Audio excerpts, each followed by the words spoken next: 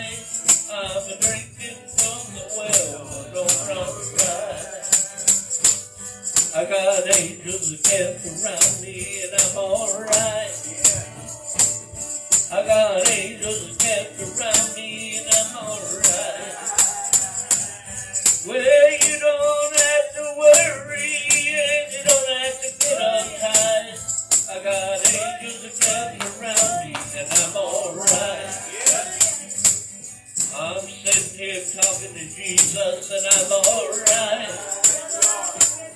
I'm sitting here talking to Jesus and I'm alright. Well, you don't have to worry and you don't have to get uptight. I'm sitting here talking to Jesus and I'm alright. I'm living up on the mountain and I'm alright. I'm living up on the mountain and I'm a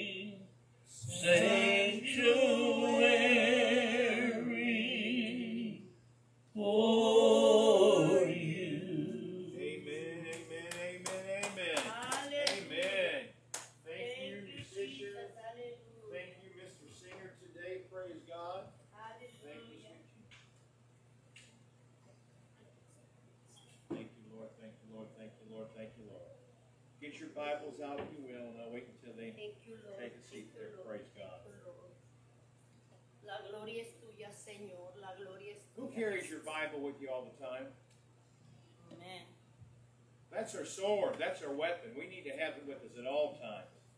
Hallelujah. I know it's good to keep an extra Bible sometimes at church to have it here all the time. But I found out sometimes that's the only Bible that people have, Sister Mary. And if it's at church, it needs to be in your car. It needs to be in your your your home. Now we know the Bible is really in our hearts. Amen. you know the Word of God. But you know what? Even though I know the Word of God somewhat, and I'm not a scholar by any means, I still need to open this up get into it. I need to, to see it. I need to read it. I need to hear it. Praise God. Amen. Hallelujah. So always have your Bible with you. Praise God. We got these little Gideon Bibles up there. We call them pocket, uh, like a little, uh, what do you call it? A, a little pocket Pocket. knife. Praise God. This is the sword. That's a pocket knife. Praise God. But let's lift them up. Let's let's make our profession, our confession of faith. This, This is my Bible. is my Bible. This is the truth. This is the The truth. whole truth whole and nothing but the truth. But This is the the infallible word of God. Jesus is the word. Jesus is the word. This is the good news, the good report, the one sound doctrine. This is what I believe in. Stand on, live by, and trust in. Thank you, Lord. Amen. Gracias, Señor. Gloria a Dios. Trusting in our Lord. Trusting in God's holy word. I've said it probably a hundred times up here. Even though I gave my heart to the Lord 26 years ago, about 11 and a half years ago, I made a commitment to my Lord, my Savior, that everything that is written in this book, I'm never going to doubt and I'll always believe word Praise to word. God.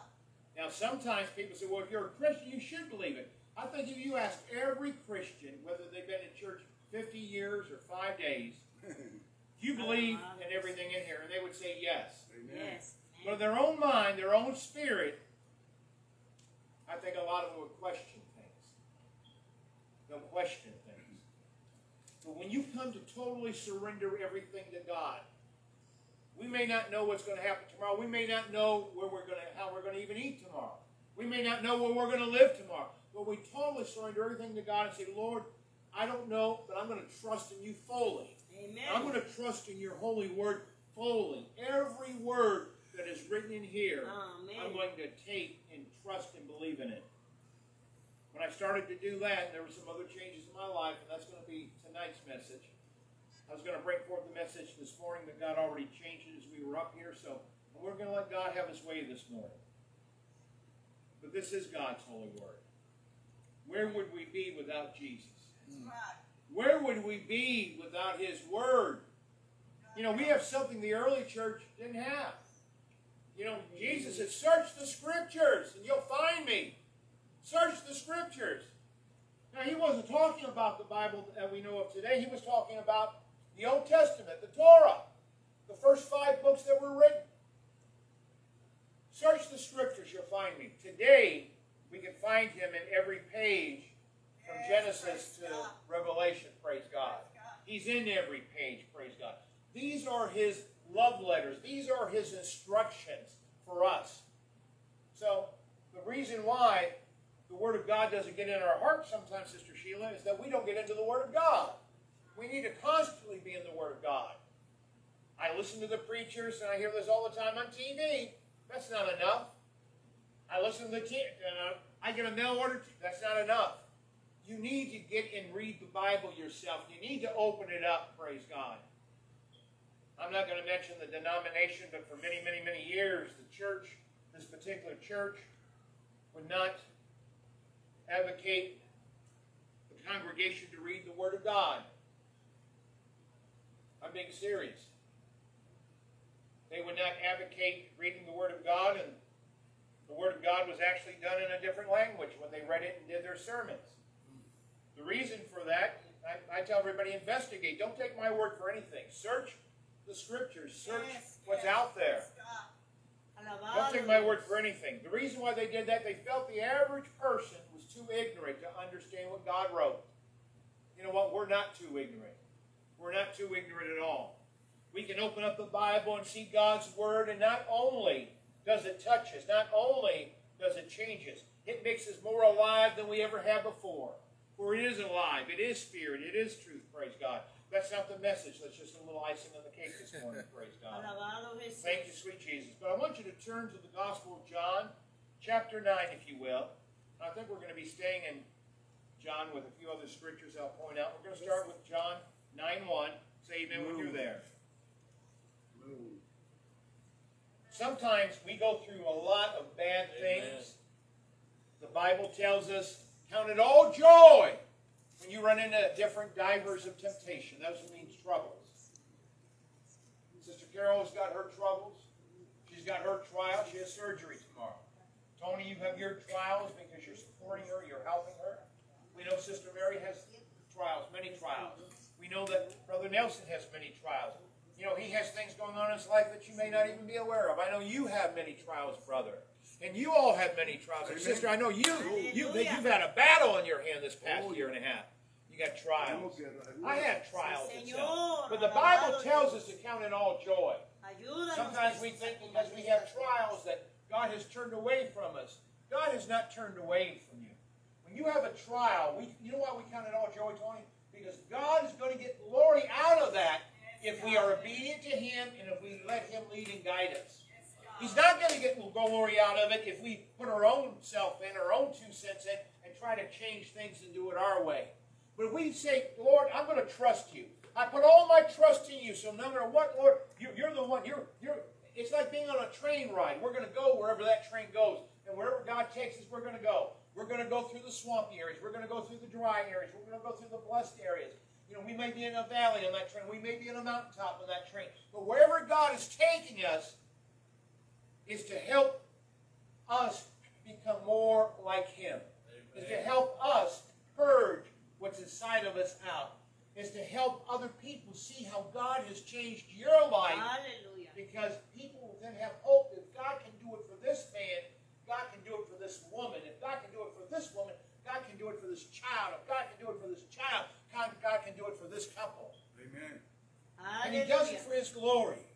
Amen. Sometimes we get in the way. We get in the Yes. midst of things. Hallelujah. We know the Bible says that the rain falls. In other words, it falls on the just and the unjust. Whether you're good, saved, or indifferent or bad, you know what? It's going to fall on you. The sun shines on the just and the unjust. I remember talking to a sister, and I'm not going to mention her name. She comes here at times, and we were having a Bible study not far from here, and oh, at their house, and, and she would get so mad. She said, "You know, the people four doors down, they got a brand new car. They put a brand new pool behind their house, and, and, and, and you know what? That pool is so big it covers their whole lawn, and they're going to Disney World with their kids." And she goes, "My husband can't even get his car fixed, and we're church-going people. What's wrong with that? That's not right." I said, "Sister." That's just the way it is. Mm-hmm. Sometimes the unjust will get rewarded. Not because of God, but it's just how things are. Mm-hmm. So the rain is going to fall on the just and the unjust, but the sun will also shine on the just and the unjust. So when the unjust gets more than what you're getting, don't, don't think that God's forgotten about you. Don't think that God has pushed you aside. God is still God. But you know what? When we're going through our problems, do we still honor Him? When we're going through our bad situations, do we still give Him glory? Yes. That's the test that we have as Christians. Do you still honor Him when you're in the valley? Or do you just praise Him when you're on top of the mountain? Do you still give Him glory when you're, when you're down in the mully grass? Or, or do you just give Him glory when you're going up? We need to give Him glory in all situations. We need to give Him glory and honor Him in all aspects. Someone say, even if it meant losing a limb, even if it meant being crippled, even if it meant being paralyzed, even if it meant losing your home, or, or, or, or, losing everything you've worked for, the answer to that is yes. To give Him glory and say, no matter what, I still honor you. No matter what, I still give you praise. No matter what, you're worthy to be praised. Why? Because He's God. Chapter 9 of the Gospel of John. And as Jesus passed by, I love it when I read as Jesus passed by or passed by because you know something's going to happen. Yes. When Jesus passes by, Brother coming. Tony, something always happens, Brother Hallelujah. Richard. And Jesus passed by and he saw a man which was blind from his birth. I want you to listen to this. He was blind from his birth. This man did nothing wrong. He was a child, he was a newborn child, but he was blind from his birth. Now he's probably in his 20s or his 30s. And his disciples, Jesus' disciples asked Jesus, saying, Master, who did sin? This man or his parents that was born blind? Obviously, the man couldn't have sinned. He was born in sin, but he was a child. He was blind when he was born. But here's what Jesus answered Neither has this man sinned nor his parents. Neither has this man sinned nor his parents, but that the works of God should be made manifest in him. In other words, this man didn't sin. His parents didn't sin. But you know what? God is going to do something. He's going to manifest for his glory. And we know that's about to happen. Because when Jesus passes by, something always good happens. Amen. I've shared it numerous times over the years. Sister Mary was on the other side. She came over. We weren't even cooking at that time. We were just getting the church ready. And a young lady that we love came in, and she had a little boy about 12 or 13 at that time, and he had come in for, for he had come down with Bell's palsy. And, and her words to us was this: "What have I done?" And this is a good woman. What sin did I do to have God put this on my child to give him Bell's palsy? I don't know if you know what Bell's palsy is. Your face turns around, and I had it one time. I looked like Popeye the Sailor Man. My eye couldn't close. I had to wear a black patch over my eye. My mouth was drooping. It looks like it took a stroke. And, and uh, they had said it was going to be a maybe a, a, a years or the rest of my life looking like that. They were going to start treatment on me. But I tell you what, I just had gotten saved. I went to a little church over here, a little garage church, not far from here. David and Angie Reynolds' little church. They prayed for me, and, and I tell you what, two weeks later, my ugly face was back to normal. Praise God. God doesn't put things on us. We're in a fallen world. Amen. This is what we told this young lady, and we prayed, and her child was restored. God's not going to punish you. God's not going to punish your children. And this woman did nothing wrong, but the first thing we do, we start to think, we must have done something wrong. I must have did something wrong. I was going to bring Job into the previous message that I'll share tonight. I remember Job's friends even saying, You must have did something wrong for God to have done all this. Your children must have done something wrong. And you know what the Bible said? Sister Mary, I just read this and I've read it over, but it just hit me. God came in a whirlwind and he spoke to his friends. And you know what he told his friends? He said, Who are you to speak? I'm putting it in modern terms. Who are you to speak? And he tells them, Tony, shut up. This is God speaking to his friends. Shut up. Alabado Dios. They were speaking wrong. You don't need friends like that. You, you need friends to look you up. You don't need friends to, to say you've done something wrong. You don't need friends to condemn you. Come on now. But sometimes that's how we do, unfortunately. And look what it says here in 4. Jesus said, I must work the works of him that sent me while it is day. The night cometh where no man can work. As long as I am in the world, I am the light of the world. How many people know he's the light? And the Bible says, and, and when he had thus spoken, he spat on the ground. In other words, he spit on the ground and he made clay of the spittle. He had, he had he moistened the, the ground, the clay, with his own spit, and he covered the man's eye and put it on the man's eye. He anointed. Anointing means to smear. So he smeared it over the man's eye. And he said unto him, Go wash in the pool of Siloam. Amen. I started to think when I heard this many years ago, why did he tell the man to go wash? All God had to do was think, and all God had to do was speak it, and the man would have been healed. But he wanted the man to do something else here. And sometimes this is what he's saying to us. He's saying to us, Brother Nelson, you know what? I've already done my part to heal you. Now it's your time. time. Go and wash a little bit. Go and get cleaned up a little bit. Wash off the dirt that's on you right now. And thank God he did. Thank God he did. Because what does it say? He went his way therefore and washed. And he did what? Came, sing. He came, sing. He could see. He had his eyesight back. And some of the folks, you know, they didn't understand this. In verse 9 said, you know, is this he? And, and it's like him. And the man said, I am he. I am he. Therefore they said unto him, How were thine eyes open? How were your eyes open? Everyone in this, and as a Christian here, your eyes have been opened. I hear this all the time anymore. The, the woke generation, the woke, woke society, you know, they're, they're saying, you know, let, let's wake up, world. Let's allow all these things to happen in the churches today. Let's have all these things happen in society today. The world has turned upside down. The Bible says that what was good is going to be called bad, and what was bad is going to become good. But the world takes it as a good thing. I've been woken up. Well, no, they, they're not woken up. They're woken up with the flesh. We need to be waken up by Jesus Christ. We need to open up our eyes and have Him touch us and to change us. Because truly, as a Christian, can we see what's going on? Truly, as a Christian, when our eyes are open, we see that the old way of life was not the way to be. We've been changed, not just with our eyes, but with our heart, praise God. They called his parents in a little bit later. And they said, Is this your son? How can he see? And the parents were afraid to be thrown out of church. And they said, You know what? He's of age. Ask him. And they did ask him. And he said, I met a man called Jesus. He touched me. I washed. And I could see. And they said, You know what? This man is a sinner. This man is healing on the Sabbath. Nobody can heal but God. This man is a sinner. And I, and I love what it says here in verse 25. And he answered, the man said, Whether he be a sinner or not, I know not. But one thing I know, whereas I was blind, but now I see. But now I see. seeing God work, seeing God, precious Lord God, working. Thank you, sweet Jesus. Glory. Amen. Gloria a Dios, I want you to turn to chapter 15, if you will, for a moment of John.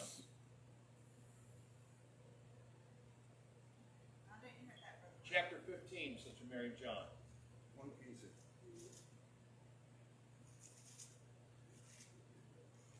I pray to the world today and those on Facebook and those that are in the church today, I pray that our eyes become more open by God. Amen. I pray that He touches us because only after He touches us can our eyes truly be open. We can't open them up on our own. But when we can open them up and start to realize what He's doing and who He is, and we truly accept Him as Lord and Savior of our life, great and mighty works will happen for His glory, not for our glory. Chapter 15 of, of John, Jesus says this, starting with verse 1. I am the true vine, and my Father is the husband. Every branch in me that beareth not fruit, he taketh away. And every branch that beareth fruit, he purgeth it, that it may bring forth more fruit. Now ye are clean through the word which I have spoken unto you. Listen to that. What helps us become clean? Ye are clean through what? Aleluya. The word. Amen. We are clean through what? The word. Yes. Through the word which I have spoken unto you. Someone says, How do I clean up my life? I can't do it on my own effort. I says, You never will do it on your own effort, but you need to put in some effort. You need to put in a willingness to surrender to God. You need to put in a willingness to surrender to Him everything. You need to put in a willingness to hear the Word of God. You need to put in a willingness to take it into your heart. And once we start doing that, there's a change that's going to take place. There's a cleansing that takes place. So many times I hear, and I'm sure, Sister Sheila, you've heard this before, and I know you heard it, and I know you've heard it. All of you have heard it. It's so hard to be a Christian today. I got all these evil thoughts, and I got all these desires, and I, and I do such wicked things. You know what? Every Christian, well, I don't care if you're 100 years old or 200 years old, everybody's still going to have a battle up here. But you know what? I can put those thoughts out. I can fight those thoughts out with the power of God's holy word. Uh-huh. Someone says, "What do you do, Pastor? Who do you go to? What do you What do you do when you have thoughts of hurting someone or doing this or perversions or whatever?" So you know what? I turn to the Book of God. When I get His Word inside of here, when I get His Word inside of here, those thoughts go. In the name of Jesus, the devil needs to go. Hallelujah. So we're clean through what? The Word, which I have spoken unto you. Listen to this. Abide in me, and I in you. Live in me, and you live in me, and I live in you. As the branch cannot bear fruit of itself except it abide on the vine, no more can ye except it abide in me. I am the vine, you are the branches. He that abideth in me, and I in him, the same bringeth forth much fruit. For without me you can do what? Nothing. Without Jesus we can do nothing. If a man abide not in me, he is cast forth as a branch and is withered, and men gather them and cast them to the fire, and they're burned. I love number seven here, 15 7. If you abide in me, and my words abide in you. Amen. In other words, if you live in me, and my words live in you, you shall ask what you will, and it shall be done unto you. Herein is my Father glorified, that ye bear much fruit. So shall ye be my disciples. Amen. Amen. Thank you, Jesus. Asking in the name of Jesus Christ. Amen. Amén. But you know what? We can abide. If we don't abide, we can ask all day long. Guess what? Nothing's going to happen, Sister Sheila. Mm-hmm. Nothing's going to happen at all. If ye abide in me and my words abide in you, you shall ask what you will, and it shall be done. Is going to take us to the last part of our sermon here, praise God. I want you to turn to chapter 9 of John. Alabado Thank you, sweet. Jesus. And we're going to talk about the ship, and we talked about this a while back. Jesus said, we're going to go to the other side. And I've said this many a time. When he tells us something, we can bank on it. If he tells you you're going to the other side, you're going to the other side. You're going to be healed, you're going to be healed. You're going to be delivered, you're going to be delivered. But how many people know that we have to believe that too? The Bible says, ask and it shall be given. Seek and you shall find, knock and it'll be open. In the 11th chapter of Mark, it says that when you ask, believe that you've already received it, you shall what? Have it. Listen to what it says here.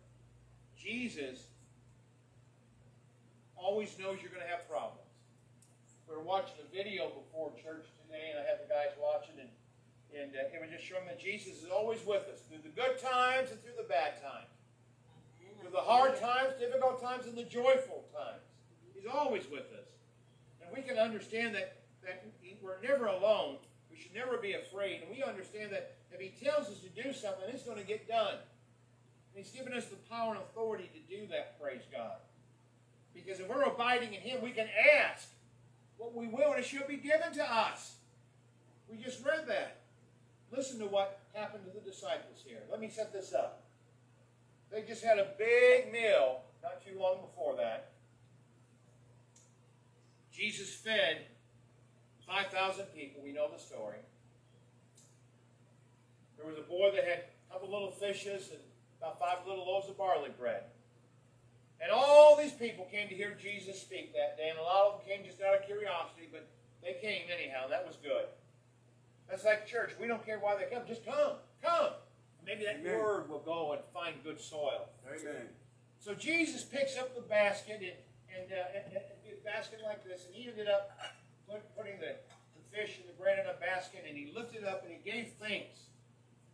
And then he started to distribute this to the disciples. Amen. Okay. Then in turn, the disciples took a little bit of fish a little bit of bread, and they distributed to 5,000. Now, this is 5,000 men that we're referring to, but the reality is there could have been up to 15,000 or more people there. They didn't count the women back in those days, and the children weren't counted, so there could have been 15,000 people there. But they only had two little fish and, and, and five little loaves of barley bread, and this was from a little boy, which means that was his lunch. You know, he didn't have a big meal he was carrying with him. This was his little lunch box. But they took this, and Jesus blessed it. But once his blessing is upon this, he gives it to the disciples. And here's the thing I want to get across Jesus blessed it. God blessed it. Amen. But who distributed it? Amen. Who put it out there? The disciples put it out there. Hallelujah. The disciples delivered it. The disciples gave it to the people. Glory. That's what our job is. We're disciples of Jesus Christ. You are God's hands, you are God's feet, and you are God's mouthpiece. Amen. Remember that. That's how we become a good witness. We, we work. We work our faith. We don't just speak it, we work it. We work our Gloria faith, praise God. Be the mouth of Jesus Christ. Be the hands and feet of Gloria Jesus. a Come on, Jesús. You know, yes. so we go out there and we help the poor, we help the hungry, we pray for those that are in need, we help the elderly, we do whatever needs to be done. We change somebody's flat, we cut their grass, whatever needs to be done. But we have to understand when people say, well, where's God? He's right here in this room today. God is inside every one of us. Come on. That's what gets us up. That's what gets us going. That's what keeps us going, praise God. Gloria a God Aleluya. blessed it. God blessed you. Amen. God has anointed you. In Gloria First John it a says Jesús. the anointing is already upon you. We already have His anointing. We already have His glory. It's already upon us. We need to Gloria stand a up in faith and say, Lord, I don't need anybody else. I don't need this. I don't need that. It'd be great to have the help, but you know what? If you've given me this blessing, I'm going to use my Amen. mouth. I'm going to Hallelujah. use my hands. I'm going to use my feet until I can't use them anymore to bless others. Glory. The Bible. Gloria a The Jesús. Bible. Aleluya. The Bible wants us to be blessed so we can bless others. Amen. So that day, those 12 disciples fed 5,000 to 15,000 people. Poderoso Jesús. They were just doing what God asked them to do Glory. Distributing food. Amen. But you know what God wants us to do right now? He wants to distribute spiritual food. Amen. Spiritual Aleluya. food. So you're never going to run out, Sister Mary. You're never going to run out, Tony. You're never going to run out, Sister a Sheila. We're going to we're going to distribute that spiritual food. Come on. We might look around and say, there's only 10 of us, there's only 12 of us. It doesn't matter if there's only one of you. You know what? If there was only one disciple that day, that disciple would have passed that out to all 5,000 or 15,000 people. Listen to what I'm saying today. God will always put an increase. His word will go forth and accomplish hmm. what it was intended to do. Praise God. Yes. So 5,000 to 15,000 people ate that day because God blessed it, but we, the workers, distributed it. I want to point that out. This has already taken place before they get on the boat. But how many times has God delivered you out of a situation? How many times has He blessed you? How many times has He healed your body? Then we soon forget His blessings. And then the doubts start coming in. Lord, I don't know what I'm going to do, Brother Nelson. I don't know what I'm going to do, Sister Mary. She- she- she- she- Sheila, I don't know what I'm going to do. Pray for me. Help me. I don't know what I, I'm just all mixed up. And then we look at that person's life and we say, well, wait a minute. Didn't God just deliver you out of something a year ago? If he did it then, he can do it again. But even though we say that, we go through it too, don't we? Yes.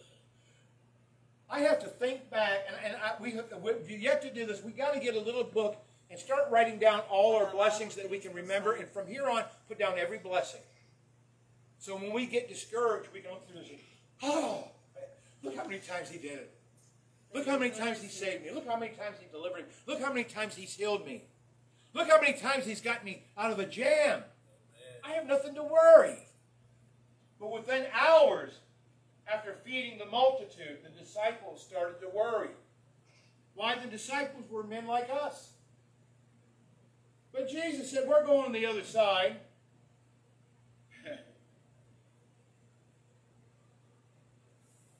They started to go to the other side. Jesus went off on the mountain to pray. Sometimes we need to go off to the mountain to pray. We need to get off by ourselves and pray. So the disciples are by themselves going to the other side. And look at verse 16 of chapter 6 of John. And when he was now come, his disciples went down to the sea and entered into a ship, and they went over the sea towards Capernaum. And it was now dark, and Jesus was not with them. Remember, Jesus went away to, to pray. And it says here in 18, and the sea arose by reason. In other words, there was a great wind that blew. In other words, what, was happening was getting very rough, and it was getting very high, and the wind was blowing. And 19 says, and when they had rowed about five and 20 or 30 furlongs, that's about three to four miles. That's all they rowed. Rowed. It was just three or four miles is all they went. They saw Jesus walking in the sea, drawing near to the ship, and they were afraid. I preached this so many times, and I preached it to somebody just yesterday, mm-hmm. talking to them. God is in every storm. I don't care how dark, how miserable, how black it is. God is in every storm. Amen. If we don't see Him, we just need to look a little harder. Oh, Sometimes we need to say, God, I don't see, but I know you're here. Because you said you never leave me nor forsake me. So no matter how bad the storm is, I know that you're here. You're here, God. I'm just going to look a little harder to see you. I'm going to trust a little bit more. I'm going to pray a little bit more. I'm going to get into the Word a little bit more because you're in the storm.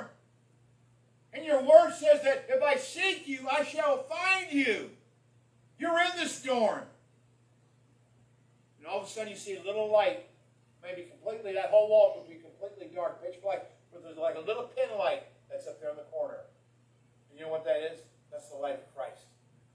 And then it starts getting brighter and brighter and brighter. And the brighter it gets and the closer it gets to you, then our confidence seems to go back to, I don't know what I was worried about. Lord, I knew you were here all the time. And the reality is, He is in every storm. Listen to what He says to the disciples. This is for you and I today through the storms that you're going through. It is I. Be not afraid. Richard, I'm in your storm. That's what God is saying. Daniel, I'm in your storm. That's what God is saying. Jose, God is saying, I'm in your storm. Amen. Thank Sister God is in your storm. Hallelujah. God is in your storm, Sister Sheila. God is in your storm, Sister Mary. Amen. Sister Carol, Brother Tony, God is in your storm. Amen. God is in our storm. Mhm.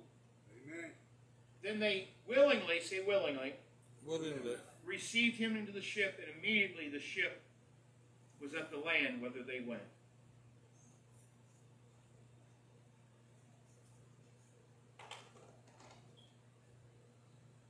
I'm discovering more and more this past couple of years from my own life. I have to speak personally. I've had to stand up and rebuke storms in my life. I've had to rebuke hell out of my life. That's why many a time I'll say, you know, Jesus said, the gates of hell will not prevail against the church of God. And the gates of hell will try to push itself against you. It comes on like a flood.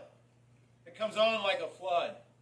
When the enemy comes in like a flood, God shall raise up a standard. And that standard is us, that standard is his people.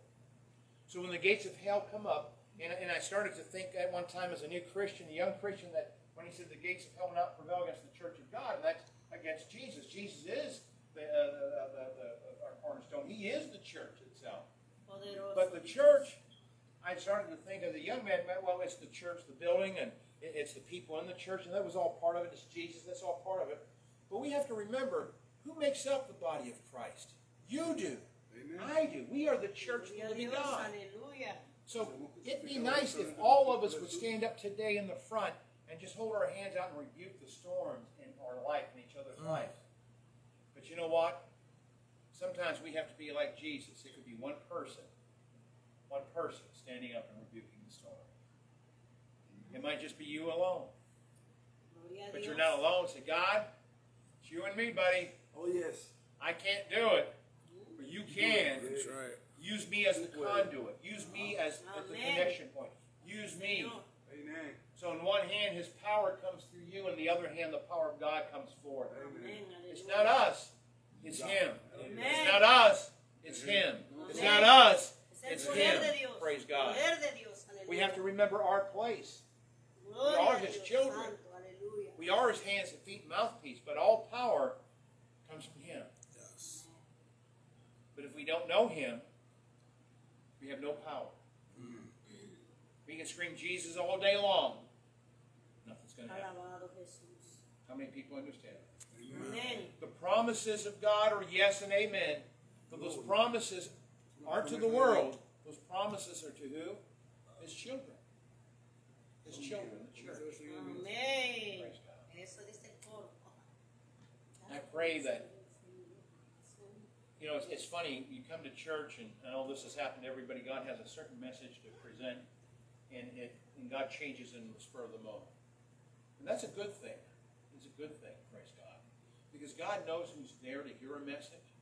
I pray that you understand that we are God's hands and feet and mouthpiece. I want you to understand when you leave here that you are the church. You can hold out that hand and say, Peace be still. I want you to understand the gates of hell will not prevail against the church of Almighty God. I want you to understand that the troubles you're going through aren't because of you sometimes. The troubles you're going through are just the fact we're in a fallen world. The rain falls on the just and the unjust, and the sun is showing to shine on the just and the unjust. So when we have problems, it's not that we're doing anything wrong. It's just the way it is. But because we have the problems, and Jesus warned us this a number of times. He said, in this world, you're going to have tribulation. He didn't say in the world to come, in the world that may be, in the future world. He said, in this, Aleluya. this world, right now world, you're going to have tribulation. He didn't say you're going to have some troubles. He didn't say you're going to have some infirmities. He said tribulation. You know what tribulation means? It means the dam has busted and there's a flood coming. All hell has broken loose. You're going to have tribulation in this world. And then we go, wow, Jesus, thanks for that good news. That makes me feel really good. We're going to have all kinds of problems. But he also says, be of good cheer, for I've overcome the world. Glory. And if he overcame the world, the Bible tells us that we are overcomers. Because he's an overcomer. Yes. Why? Because we belong to him. We're connected to the vine. We're connected to the branch. We're connected to the tree. We're connected to the where the power comes from. Maybe we ought to get a fake outlet up here. Maybe have Brother Al put a fake outlet in. We just take a little cord and we get plugged in to the right outlet. When you're plugged into the right outlet and the switch is turned on, guess what? We have juice. And that juice is the power of God, the love of God, the forgiveness of God, uh, the fruit of the Spirit, the joy, the peace. We get that if we're connected to Him. But if we're not connected to Him, guess what? We don't have it. So for those that are watching today, if you want to know that joy and peace and that power we spoke of, come to know the one that you all have met. Come to know the one that we call Jesus. Come to know the one that's the Lord of Lords and the King of Kings. Come to know the one that is the beginning and the end. Come to know the one that is the Alpha and the Omega. Come to know the one that is the healer, the deliverer. Come to know one that stick, the one that sticks with me closer than a brother. Come to know the one that's my heavenly Father.